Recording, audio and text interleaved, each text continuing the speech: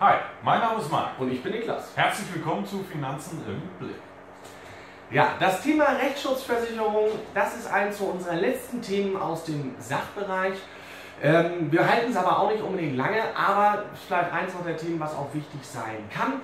Wie sie funktioniert, was vielleicht zu beachten ist, das soll heute einmal ganz kurz unser Abriss sein. Grundsätzlich gibt es in der Rechtsschutzversicherung verschiedene Bausteine, wie zum Beispiel Privat, Beruf, Verkehr, Wohn- und Gewerbliches. Aber wofür ist jetzt was sinnvoll und wozu brauchen wir diese Bausteine überhaupt? Genau, also fangen wir an mit dem privaten Bereich. Ja, alles, was sich in meinem Privatleben an äh, Eventualitäten, an Vorwürfen, an Gerichtsklagen oder was auch immer äh, letztendlich passiert, das fließt dort ein. Da ist vielleicht ganz wichtig, dass ich sowas wie ein Vertragsrecht da auch mit drin habe.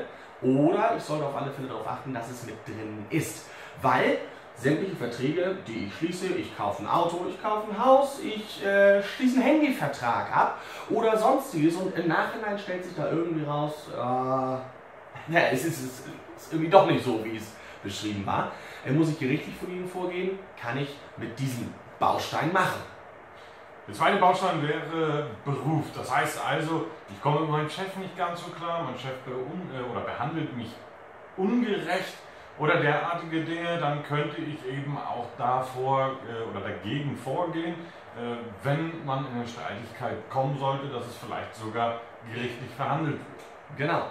Bereich Verkehr da äh, ist ein bisschen zu unterscheiden. Ähm, Verkehr ist meistens ein Pkw, ein selbstgenutzter. Ich kann auch, wenn ich jetzt mehrere Autos habe, da mehrere Autos mit reinnehmen. Es geht alles um den Bereich Kfz, sei es ein Blitzerfoto, sei es ähm, irgendwer hat mich irgendwo gerammt oder was auch immer. Alles, was da irgendwie so vor Gericht wird, geht, wird damit behandelt. Beim Wohnbereich ist es eigentlich fast ausschließlich darauf bezogen, dass man selber als Mieter oder in selbstgenutzten Wohnräumen ähm, Probleme oder wenn man aber Probleme bekommen sollte, dass dieser Baustein dafür ist. Wenn man jetzt Wohnungen vermietet oder Häuser vermietet, dann braucht man dafür einen extra Vermieterrechtsschutz. Das ist also nochmal ein eigener Baustein, den man zusätzlich bräuchte. Generell gilt aber für den Wohnbereich, wenn man es selber nutzt, dann wäre man darüber auch abgesichert, wenn man Probleme mit dem Vermieter zum Beispiel bekommt. Genau. Da noch, wenn ich jetzt aber zum Beispiel meine Anliegerwohnung oder am Haus oder sowas mitvermiete, dann kann das durchaus mit drin sein. Wichtig dabei nur, ich habe im Bereich Wohnen in der Rechtsschutz eine Wartezeit von drei Monaten. Also ich kann schlecht sagen, oh, ich glaube, da bahnt sich jetzt bald mal was an auf geht's, ich brauche einen Rechtsschutz, ja, drei Monate Wartezeit, bevor da auch nur irgendwas passieren kann. Wichtig zu wissen. Generell merken wir aber auch häufig, dass die äh, Leute zu uns kommen und sagen, äh, ich brauche eine Rechtsschutzversicherung. Da fragt man sich ja natürlich erstmal, warum brauchst du jetzt eine Rechtsschutzversicherung? Ja, da ist jetzt gerade was am Laufen, da könnte was passieren. Mhm. Also der eigentliche Punkt, dass etwas passiert ist, ist schon eingetreten. Das heißt, eine Rechtsschutzversicherung macht überhaupt keinen Sinn mehr, weil die Gesellschaft sagt, nein, der Punkt dessen, warum man schon in einer Streitigkeit ist, ist schon eingetreten. Das heißt, es würde auch gar nicht mehr geleistet werden. Ja, das ist so die Sache mit rückwirkend. Ja, das geht nicht. Und der letzte Bauschein gewerblich, ja, wenn ich Unternehmer bin, wenn ich äh, Selbstständiger bin und äh, dann auch irgendwie dann ja, Rechtsstreitigkeiten mit vertraglichen Sachen mit meinen Kunden oder wie auch immer habe, ähm, da kann das auf alle Fälle mal Sinn machen, eine Rechtsschutzversicherung für den gewerblichen Zweck zu haben. So, alles in allem, okay, das sind die Bausteine. Wenn wir jetzt aber mal schauen, Privatbereich. Ja, Vertragsrecht, Schwierigkeiten. Ich habe bei Verträgen 14 Tage Widerrufsrecht, manchmal sogar 30 Tage Widerrufsrecht. Ähm, wenn ich irgendwo mich jemand anklagt, und mir eine Schuld zuweisen will, dass ich irgendwas kaputt gemacht habe oder wie auch immer, meine Haftpflicht, die wirklich wichtig ist, die eigentlich jeder von uns haben sollte, die zieht dann ja auch vor mich, für mich vor Gericht und äh, wehrt ungerechtfertigte Anschuldigungen ab. Also da brauche ich nicht mal immer zwingend eine Rechtsschutzversicherung. Richtig. Das ist auch in ganz vielen anderen Bereichen so. Wenn jetzt, ja, zum Beispiel im, im, Beruf genau das gleiche, wenn man vorher sich schon mal den Arbeitsvertrag vernünftig durchgelesen hat wirklich und weiß um seine Rechte oder das, was der Chef von einem verlangt, und das dann so auszuführen hat, entweder unterschreibt man oder man unterschreibt nicht, man hat es aber unterschrieben in dem Fall.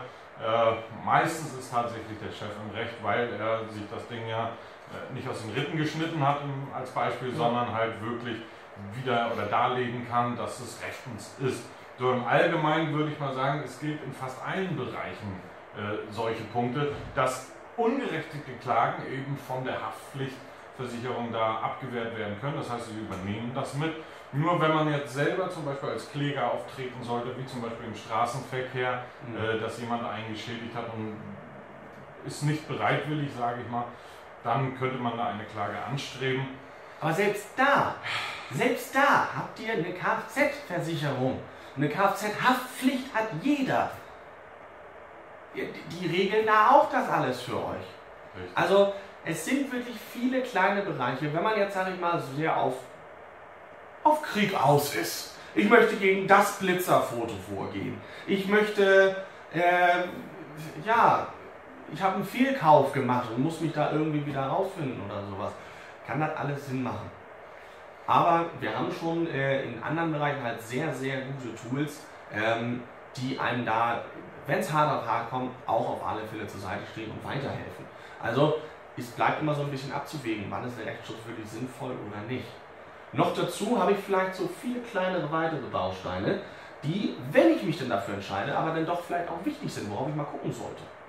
Ist zum Beispiel der weltweite Schutz. Ja, also nicht jede ähm, Rechtsschutzversicherung leistet wirklich weltweit, sondern nur innerhalb von Europa zum Beispiel, wenn wir es hier in Deutschland machen.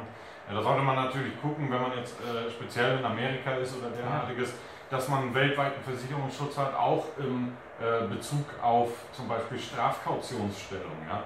Die meisten Gesellschaften sagen halt, wenn du ins Gefängnis kommen solltest durch irgendwelche Gründe, geben sie eine 250.000 Euro Kaution für Strafschutz oder derartiges. Das sind so, so Punkte, die sollten dann schon wirklich mit drin sein. Mhm. Kann ich meinen Anwalt, den ich dann brauche, frei wählen oder wird mir irgendeiner gegeben? Ist mir das wichtig oder nicht? Weil ich kann ja auch zum Beispiel den Anwalt meines Vertrauens haben, wo ich möchte, dass der sich darum kümmert. Das sollte man vielleicht haben. Ja. Ne? Zusätzlich die sogenannte Mediation oder auch telefonische Beratung. Also Mediation würde eben bedeuten eine außergerichtliche Verhandlung, dass man über den Anwalt eben auch nicht unbedingt vor ähm, Gericht stehen muss, sondern es rein über den Anwalt schon verhandelt werden könnte, nennt sich Mediation. Oder eine kostenlose erste telefonische Beratung ähm, mit einem Anwalt, dass die so gesehen auch schon von der Rechtsschutzversicherung übernommen wird. Genau. Ein Stellschraubchen habe ich bei der Rechtsschutzversicherung auf alle Fälle. Und zwar ist es das Thema Selbstbeteiligung. Ja, ich kann sagen, Mensch, pro Rechtsfall, der eintritt, möchte ich 150, 500, 1000 Euro Selbstbeteiligung übernehmen. Äh, drückt natürlich enorm den Preis, den ich für diese Sicherung, Versicherung zahle. Aber wenn dann mal ein Rechtsschutzfall kommt, dann sind diese ersten 500.000, 150 Euro erstmal meine Kosten. Richtig.